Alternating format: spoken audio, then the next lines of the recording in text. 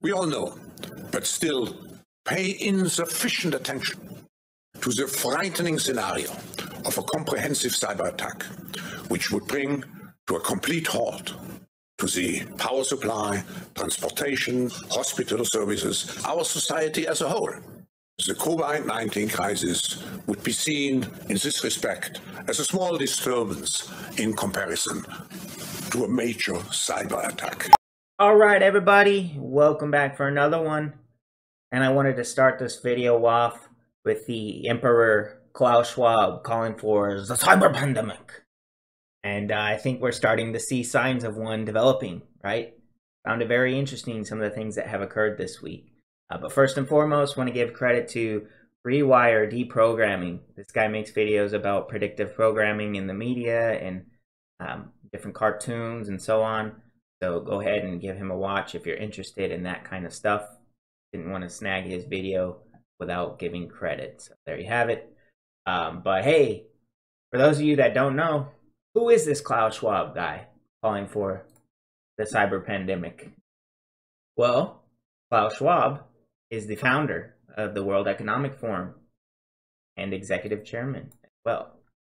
Found that very interesting. The same World Economic Forum that is calling for this great reset. And on this great reset, they have harnessing the fourth industrial revolution. But what falls under that? First bullet point internet governance. Hmm, interesting. The world of stage? Digital economy and new value creation, AI. Future of media and entertainment. Hmm. Could that be changes to social media coming? 5G, drones, digital identity. Hmm, that one sticks out there. Quantum computing, digital transformation of business. Oh, blockchain. There we have it. The same World Economic Forum that selected Elastos to this global innovators community. Elastos, which is the only, I repeat, the only crypto project out there that has gotten anywhere close to actually reconstructing the internet infrastructure. What they have built cannot be replicated in crypto. It cannot. It has 20 years of effort put into it. Blockchain was just a missing component that will now allow them to build out a platform, which they are building, that has digital identity. Right? What do we see there? Digital identity. Right? It also has an internet governance layer called the Cyber Republic. Right? And of course, it's using blockchain. It's going to help with the digital transformation of businesses and a digital economy and new value creation. Oh, very interesting, huh? Seems like it's all starting to come to the surface. Before I move on, though, I wanted to point out that somebody um, kind enough in the comments to point out that QuantStamp is also part of this global innovators community. I had originally said I only found Elastos, Ethereum with ConsenSys, Hedera Hashgraph, and then obviously Ripple and Stellar have been in there as well. But as far as global innovators community, I had left out QuantStamp, so there you have it. They are also part of this, so another interesting project to maybe consider looking into. All right, but what's the theme, right? Why am I even talking about this? So, if you don't know, just over the weekend, the US Treasury Department was hacked. And then on Monday, all of the Google services were down for a while, including YouTube, Google Drive, and others. You have it right here. YouTube Drive and multiple Google services appear to be down across the globe. Right? So you get it. Point being, um, you know, Klaus Schwab talks about a cyber pandemic in a world where basically the entire grid, power grid is cut off. So you lose transportation and so on. Well, I don't think that what happened over the weekend was that severe, right? But what I think it does is build the narrative. It builds this predictive programming that Rewire Deprogramming talks about, all right? And if you don't believe in predictive programming, well, here, let me show you yet another clip. This one from two years ago. The point here is I, I, actually think the earlier guest was a bit of an optimist by saying that this is the one remaining threat. It's not the one. We've got North Korea, we've got Iran, we've got a, a nuke that could go, and cybersecurity is big. But we have to, I think, look at the fundamentals underlying the economy and where we are. And, you know, it's been a long time since we had a recession. Something rather unexpected over the next few years will likely trigger another one.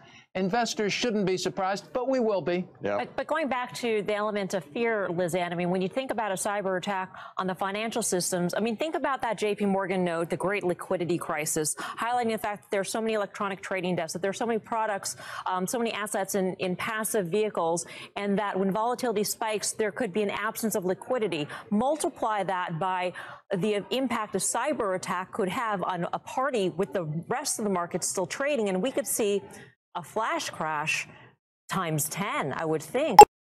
So, two years ago, more than two years ago at this point, CNBC's talking about a cyber attack that would disrupt the financial system and maybe cause a flash crash of 10 times the scale.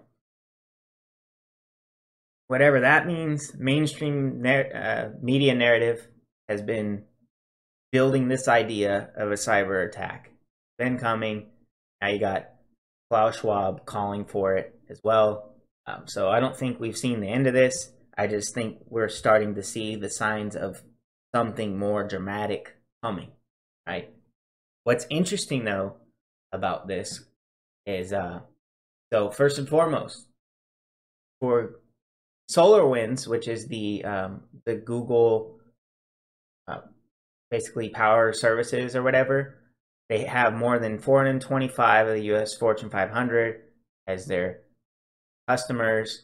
They have the all five branches of the military, the Pentagon, NASA, Postal Service, offices offices of the President of the U.S. I mean, come on, it's all in there, right? All five of the top U.S. accounting firms, and then going down the list, you can see there a bunch of main companies and universities, and cities that we've all heard of. Right?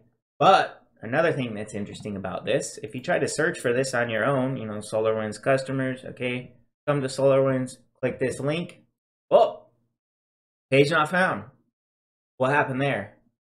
Well, I thought that was weird at first, so I Googled it a little more, and look what I found. So they actually chose to hide the list of high profile customers after the devastating attack. Well, you're hiding the list, but handy dandy Twitter still has it out there because we have people like at OSX Reverser. Go ahead and give him a follow if you have interest in a label himself.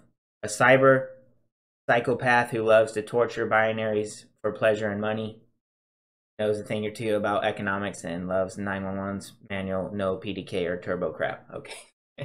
I just thought his description was. But yeah, he shared this list and then it immediately got taken down by SolarWinds, right?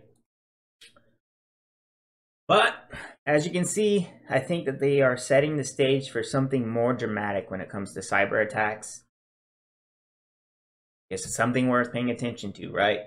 Once again, not trying to be doom and gloom, but I think there's a little more to the story uh, than what we're seeing. You guys, at this point, you cannot believe in all these things just being coincidences for the year. Can you really? Can you really ask yourself, oh, well, that just happened? Right? And then also with the election, what happened there? Right? Lots of drama there saying that there's uh, fraud on either side. Okay. Well, this is just typical problem reaction solution. Oh, there's a problem with our voting system. Cool, let's use a blockchain one. Our internet's bad, it can always be hacked. All right, cool, let's use another one.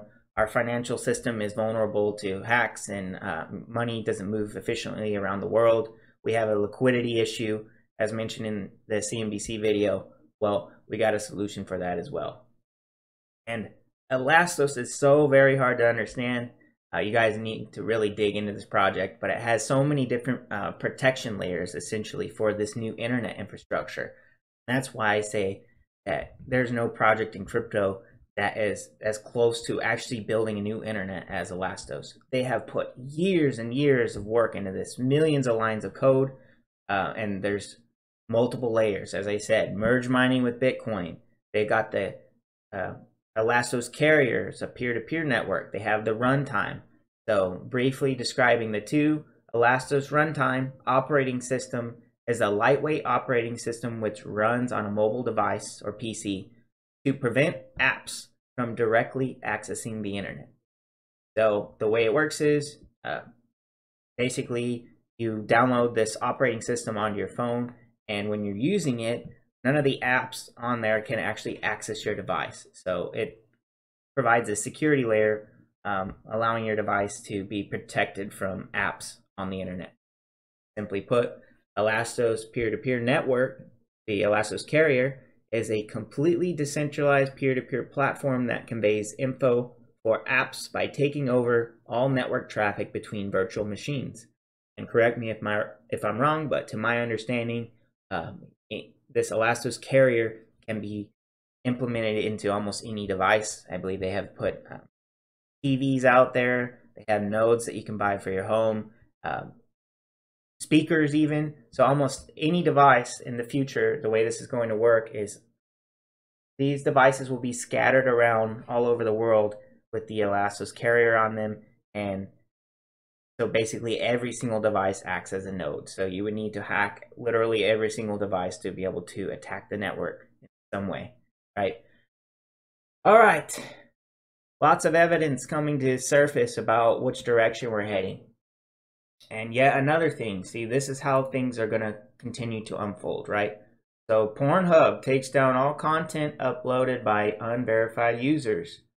So the way I see the future is everyone going to have that digital ID that they're going to need to access any website, to upload to any website, to do anything, probably to interact with the financial system at all, right? Sounds very controlled, right? But this is how you prevent the internet from being hacked and also make money transparent. So if everyone's KYC or has their digital identity tied to their private crypto wallets, um, then they'll be able to interact with all these blockchains, right?